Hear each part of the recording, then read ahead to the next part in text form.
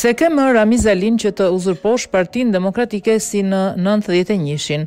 Formo partinë tënde Sali. Avokati i njohur Spartak Ngjela shprehur se ish-kryeministri Sali Berisha është mësuar me uzurpimin e Partisë Demokratike. Ngjela thotë se këtë gjë po mundohet ta bëjë edhe tani ish-kryeministri. Sipas Ngjelës, Berisha nuk e ka më as Ramiz Alin si në vitin një mijë e nëntëqind e nëntëdhjetë e një kur uzurpoi Partinë Demokratike. Ja dhe postimi. Berisha është mësuar me uzurpimin e Partisë Demokratike. Këtë kërkoi të bënte edhe sot. Kot e ka. Kur e uzurpoi Partinë Demokratike në një mijë e nëntëqind e nëntëdhjetë e njëshin, kishte Ramiz Alinë. Tani nuk e ka më Ramiz Alinë, por nuk ka as edhe vrasësit sllavë të dy prillit. Nëse uzurpon, fat i madh për të djathën shqiptare sepse do të shpëtojë një herë e mirë nga Saliu, se ky shkon në kanalet e zeza me gjithë partinë e uzurpuar. Kështu ka deklaruar Departamenti i Shtetit amerikan.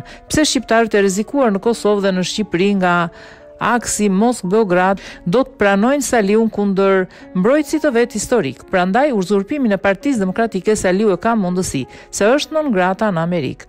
Nuk më pranon Amerika, por më do populli, thotë Saliu. Atëherë, Sali, Po të do populli, nuk ke nevojë të uzurposh Partinë Demokratike. Shpall partinë tënde me rithemeluesit abstrakt që ke dhe drejtoju popullit. Uzurpimi është përmbajtja primitive e Saliut në politikë. Por këtë uzurpim nuk po ta lë Uashingtoni Sali. Formo partinë tënde Sali, që të shohësh sa të duan shqiptarët. Po të erdhën një mijë persona, gjë e madhe do të jetë. Gjithsesi Shqipëria do të ketë ngjarje historike në këto kohë në funksion të zhvillimit të saj drejt perëndimit dhe Saliu lodhet kot.